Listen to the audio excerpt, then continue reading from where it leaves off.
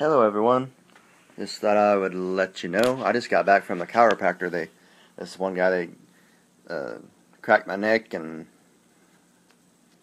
and my back a little bit, and I felt pretty good. I had an appointment this morning, and I feel I feel a little bit better. Uh, well, but first they they uh, they just wanted to see how stiff I was in my neck and shoulders and stuff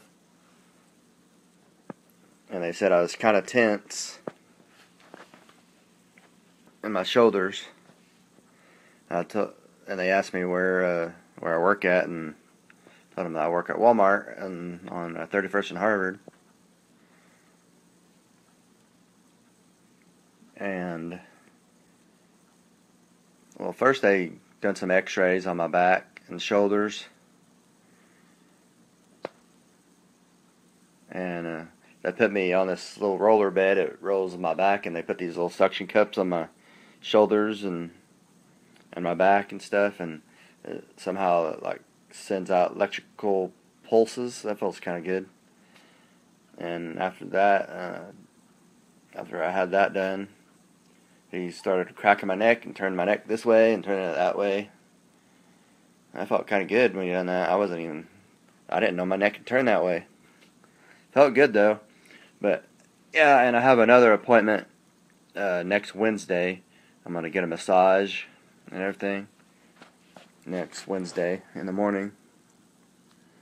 So that should be fun. So just uh, let you know what was going on today.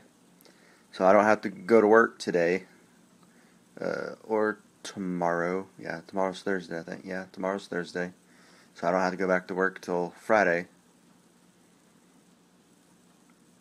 And I can't and I can't wait to get that massage.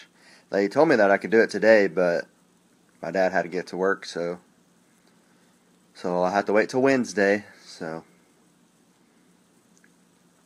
just thought I'd let you know what was going on today, and I'll talk to y'all later. I'll do another live video soon, whenever, and see you and talk to you later. Bye.